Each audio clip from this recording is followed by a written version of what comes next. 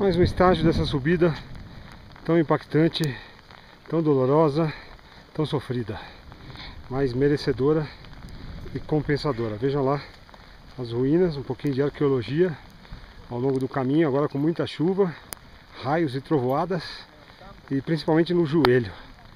E agora, acho que estamos na última meia hora de subida, pelo menos para o dia de hoje. Logo mais voltaremos com mais informações sobre Caminho de Santiago.